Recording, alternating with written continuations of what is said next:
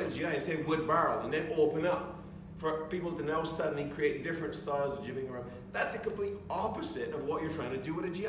You're trying to protect what has taken all these years to create. So absolutely they should put oak barrel because that's what they've been using. Yeah, but I, I can... I Not can, because somebody wrote I- something 70 years ago. I can attest to exactly the opposite, and respectfully, obviously, Richard.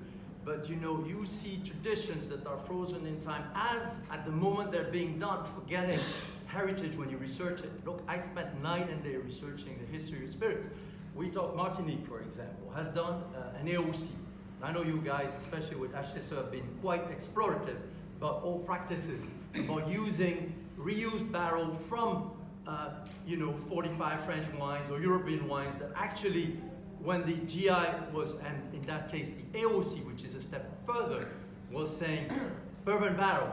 But actually, we discovered that, oh shoot, you know, back then, they were actually using uh, some French 45 wines or European 45 wines, and, and unless you reopen it, then you cannot really do it. So I, I'm just saying, you got to really make an educated decision when that happens, and not just say, this is what I do today, it's going to be history forever. I'm just finishing on saying something. I can say, attest to this, because cognac regulation has done that mistake in 1945, whereas the guy says, age in oak barrel. Guess what? That's what they did right after the war, and they didn't scratch their head and realize that just for 300 years, little, little years, they were using chestnut, mulberry, acacia. But yes, for, for about 20 or 30 years, they didn't do it anymore. And then now if you do it, it's illegal. And I find this unfortunate because the beauty of rum is the diversity, and I think we should. And I think the answer to this, and I'll finish on this, is that the key to all of this, and I think maybe the common denominator, and what, what you touched on, Luca, is transparency. It's transparency. Is that just don't box it in. Don't tell rum I do it that way and everybody's got to do it that way or it's not rum. Just let's keep that diversity, but let's be transparent about it. Tell me what you do. Why does it taste like this? What is it so good at what you're doing? And I feel very strong about this because this is the true essence of rum is that beauty and that diversity that's both technical and cultural. And that's I spend all my life and my money. Well, I mean, I think I'm totally of us, broke now. I I'm think spending all all of my money doing agree this. is that. Yeah, but- we're going to finish up. We're going to finish up. We're No, I think what I we're was going saying, to finish up. uh, we speak Um, about, don't uh, forget- we can continue microstructure, shortly. no? outside. I actually want to add something as well. Oh, no, So okay. just- Okay. I'll keep it short. Luca, make it short. I'll make Richard? it. No, no, I, I say honestly, the GI or not GI, fantastic. I'm very happy. I love Jamaica, Barbados. But uh, inside the Jamaica rum, there are different type of rums. Yeah. Yep, yep, So you- yeah. in my classification, we speak only about this. Very happy that there is a GI, but then come from a multi-column, from a Coffey still, from a pure I single rum. yeah, I think you need This both. is the real You need both. You need both. that uh, to be transparent and to upgrade the category. I don't like that Long Pond or Hampden are uh, in the same category for the consumer than uh, I say Clarendon, not to say Clarendon, but to a, a rum made in a different way, completely different way. All right, David? So in short, I, I, I went, I, I've seen the evolution of this, so I'm happy to see how much it's evolved. Since Remember the when first, yeah, the first time I was like, eh, I'm not so sure about this.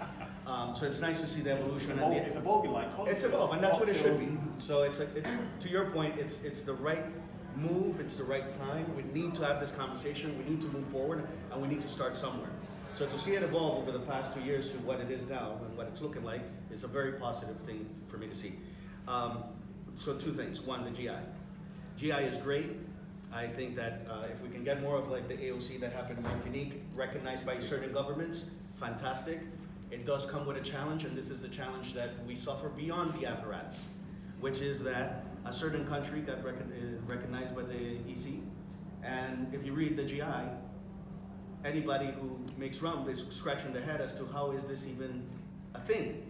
And if it gets recognized by the EC, what you have is then consumers buying product with this certification of a GI, this certification of all of our co- uh, companies in our country make it this way, and we all know that it's a questionable, questionable approach to authentic, non-additive rums, right? And that's this, and this is where I'm getting at.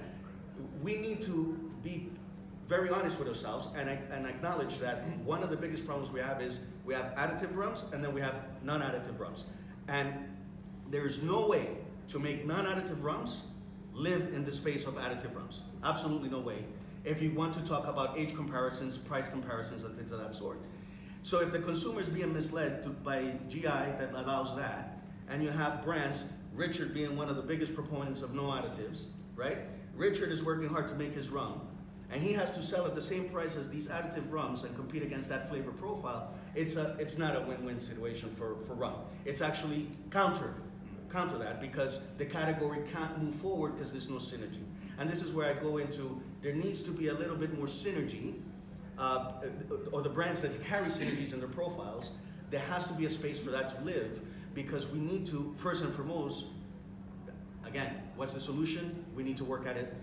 We need to be able to separate the non-additive rums from the additive rums. And uh, in the terms, and I know that sugar comes into this equation, we use sugar, Alexandre, you use sugar. We have an internal cap. We don't pass a certain number, and it's below the 20 grams per sugar that most people mention. Um, Alexandre has his, and that's fine. What, what I'm more in, in focus in is where we know that they're surpassing 25, 30 grams of sugar, where we know they're using artificial vanillin, where they're using uh, Tutti Frutti, which is exactly the lab name of that flavor. Marshmallow, which many of you in this room right now don't understand that when you taste vanilla in these rums that have additives, you're actually tasting marshmallow flavoring. That's what it's called in the laboratory.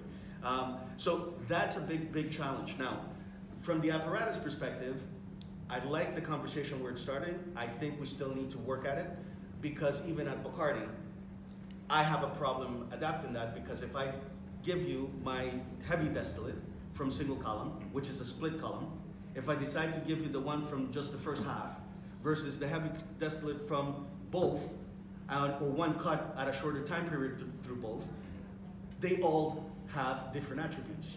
And then I have to take that, and what many people don't comprehend, and I can tell you this from my experience having uh, for the past four years worked with the blenders and the distillers, the biggest thing that shifts when I make my heavy distillate, the biggest difference between my, what we call aguardiente Bacardi, when I make that, and what ends up in Superior after a year, you know what's the biggest difference?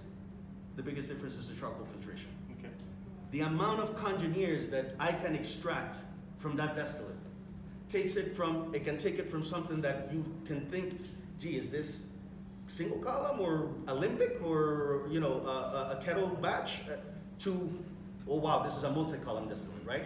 So even in my house my distillates don't behave precisely how they're being depicted which makes it hard for me right now in this stage to say this can be applied and Bacardi fits all the buckets or fits the multi-column or the single I mean, column. I'm going to move on, Trish, but just in, in, in answer to that, I don't think that the argument is about taste profile when it comes to heavy and light runs coming from column still, pot mm-hmm. still. It's about price, as someone said. It's about premium. I remember you made a comment about my cost of making that